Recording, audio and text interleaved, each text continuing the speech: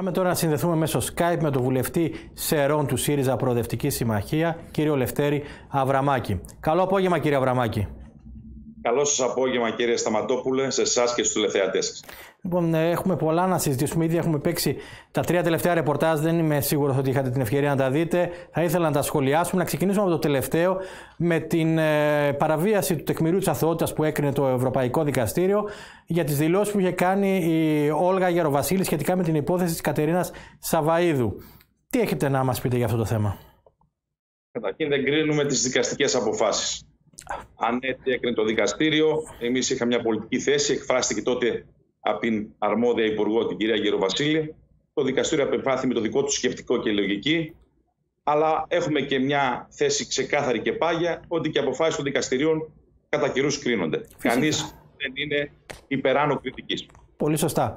Απλώς εδώ ανοίγει ο ασκός του αιώλου, γιατί ε, είχαμε και μια κουβέντα πριν από λίγες μέρε εδώ στην εκπομπή με τον κύριο Χρυσόγονο, τον πρώην Ευρωβουλευτή του ΣΥΡΙΖΑ και καθηγητή συνταγματικού δικαίου, για το τεκμήριο της αθωότητας. Και μας είπε ο κύριος Χρυσόγονο ότι μια καραμπινάτη παραβίαση του τεκμηρίου της αθωότητας ήταν στην περίπτωση της Χρυσής Αυγής, όπου έξω από το δικαστήριο πολιτικοί αρχηγοί και άλλοι άνθρωποι είχαν συγκεντρωθεί και μάλιστα για πολλές εβδομάδες λέγανε δεν είναι αθώο, είναι στη φυλακή. Και είναι μια καραμπινάτη παραβίαση του τεκμηρίου της αθωότητα, το οποίο θα βρούμε μπροστά μας ενδεχομένως, όπως και σε αυτή την περίπτωση, και θα εκδοθούν αποφάσεις που θα δικαιώνουν τους ε, κατηγορουμένους, καθώς τους είχαν καταδικάσει πριν καν γίνει η δίκη. Πώς σχολιάζετε; Κύριε Σταματόπουλο, δεν είμαι νομικός για να κρίνω τις δικαστικές αποφάσεις. Ω πολίτης και ως πολιτικός, θεωρώ ότι το τεκμήριο αθότητος ισχύει ως βάση για κάθε κατηγορούμενο.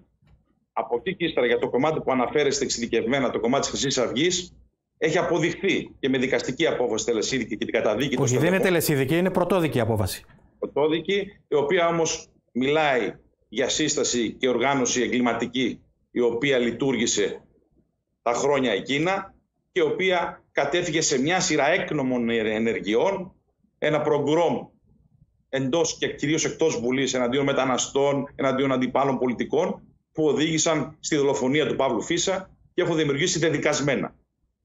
Με αυτή τη λογική πιστεύουμε ότι θα έρθει και η νομοθετική πρωτοβουλία της κυβέρνησης τις αμέσως επόμενες ημέρες όσον αφορά τη δυνατότητα συμμετοχής της ακροδεξιάς και προκειμένου, εν προκειμένου της Χρυσής Αυγής στις ελληνικές εκλογές, στην οποία διάταξη και εμείς θα συμβάλλουμε με την υπερψήφισή της ώστε να μην συμμετέχει στις εθνικές εκλογές όντας εγκληματική οργάνωση η οποία λειτουργήσε με χαρακτηριστικά τα οποία δεν συνάδουν με, ένα, με το δημοκρατικό μας πολίτευμα και με μια, ένα κόμμα που κινείται στα πλαίσια της νομιμότητας και του κοινοβουλευτισμού.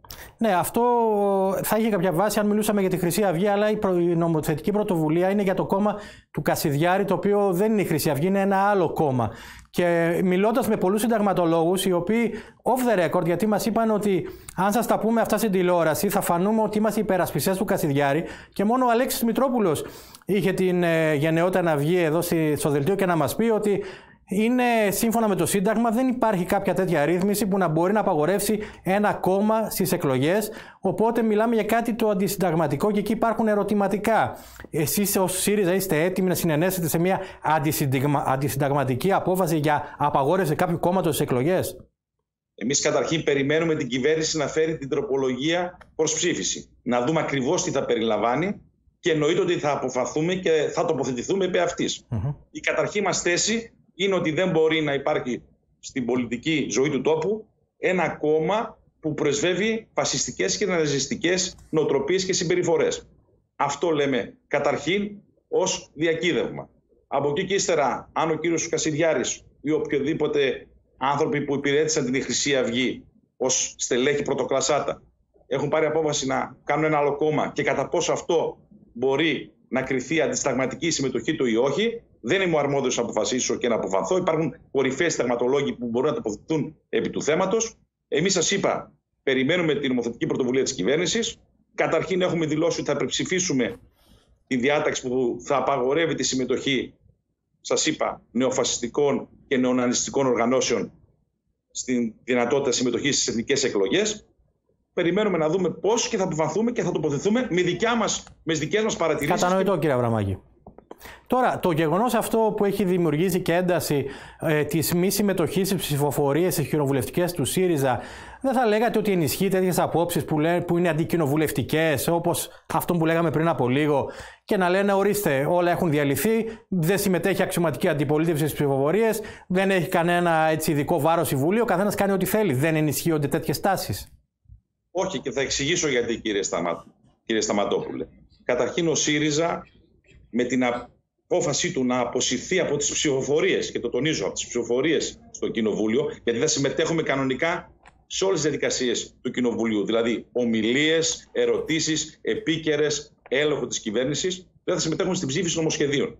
Και αυτό το κάνουμε κατ' επέκταση της πρότασης δυσπιστίας που καταθέσαμε στη Βουλή όσον αφορά τα τεκμήρια και τις αποδείξεις μέσω ΑΔΑΕ του τεράστιου σκανδάλου των υποκλοπών που αφορά τον πυρήνα της δημοκρατίας μας. Δυστυχώς η κυβέρνηση δεν απάντησε επί της ουσίας. Κρύφτηκε πάλι και ο κ. Μητσοτάκης και η κυβέρνηση και μάλιστα άλλαξε και τη θέση και τη στάση της. Παραδεχόμενη εμέσως πριν σαφώς παρακολουθήσεις, αλλά ονομάζοντάς της ότι έγιναν με νόμιμο ή νομιμοφανή τρόπο στα πλαίσια των επισυνδέσεων με την ΕΕΠ ή του, του παράνομου λογισμικού. Εμείς δεν μπορούμε πλέον, κύριε Σταματόπολο, και το έχουμε πει ανοιχτά μέσω του Προέδρου μας αλλά και όλα τα κοινοβουλευτικά στελέχη, να νομιμοποιήσουμε μια ηθικά και πολιτικά έκτοτη κυβέρνηση. Δεν μπορούμε να νομιμοποιήσουμε την εκτροπή της πλειοψηφίας. Θεωρούμε ότι αυτή η κυβέρνηση δεν νομιμοποιείται πλέον να είναι στα ενία της χώρας ούτε μία μέρα μετά το όσα λάβαν χώρα και όλα πλέον γνωρίζουμε. Σύντομα, Όταν... σύντομα θα γίνουν εκλογές και θα το δούμε, κύριε Αβραμάκη, αλλά δεν είναι υπερβολικό αυτό που έγραφε και η Αυγή, δηλαδή Δημοκρατία ή Μητσοτάκης. Αυτά θυμίζει άλλες εποχές και εδώ έχουμε ένα, μια κυβέρνηση εκλεγμένη με την ψήφο του ελληνικού λαού.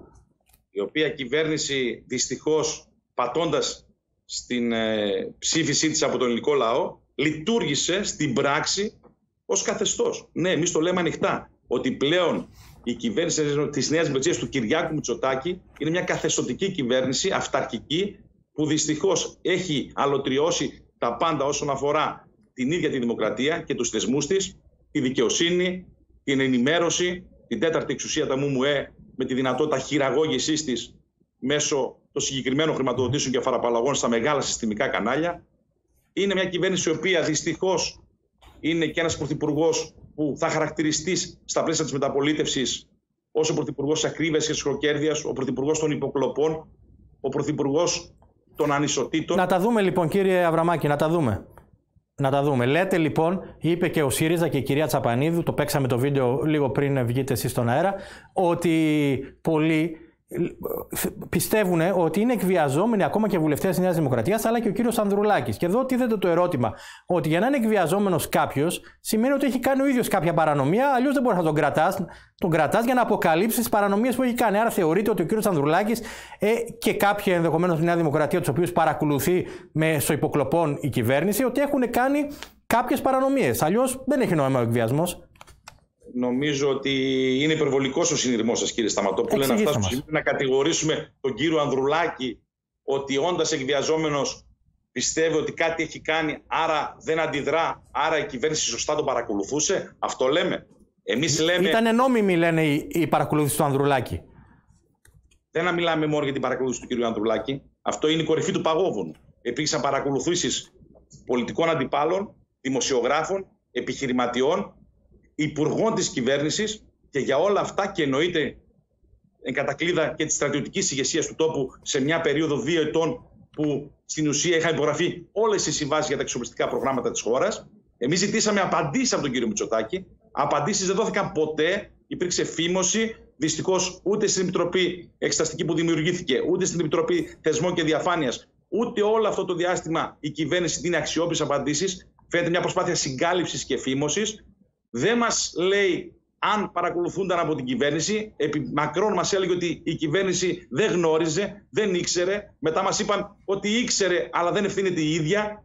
Αποδεικνύεται ότι η ίδια είχε και το κομμάτι των νόμιμων συνδέσεων με τη υπογραφή της εισαγγελέως ε, της ΕΕΠ της κυρίας Βλάχου η οποία ανανέωνε ανά δύο μήνες την υπογραφή της και την παρακολούθηση συγκεκριμένων πολιτικών και όχι μόνο προσώπων. Και αποδεικνύεται ότι και μέσα στο, στην Αγία Παρασκευή, στα, στο κτίριο της ΕΕΠ, ήταν και η εγκατάσταση του παράνομου ληστικού του Predator, τα οποία, στην οποία μπλέκονται Καλά, και ξένες... αυτό δεν έχει αποδειχθεί ακόμα, μην προτρέχετε. Κύριε Σταματόπουλε, δυστυχώς και ευτυχώς για εσά ως δημοσιογράφο, η δημοσιογραφική έρευνα επαληθεύτηκε με τον καλύτερο δυνατό τρόπο.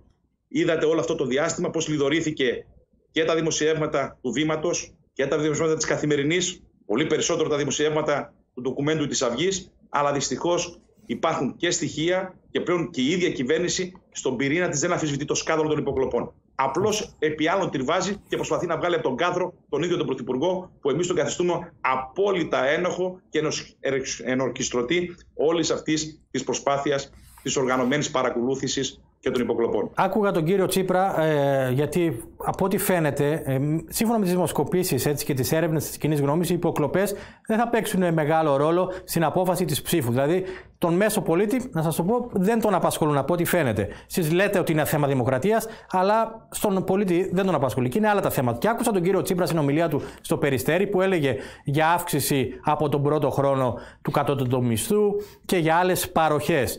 Αυτό τι σημαίνει, ε, κύριε Αβραμάκη, ότι μόλις αναλάβει ο ΣΥΡΙΖΑ, δηλαδή σε δύο-τρεις μήνες που θα γίνουν οι εκλογές, αμέσως είναι έτοιμος να κάνει αυτές τις παροχές που λέει, ή πάλι θα πει παραλάβαμε καμένη γη και δεν γίνονται; Η αλήθεια είναι ότι στο οικονομικό περιβάλλον τα πράγματα είναι δύσκολα.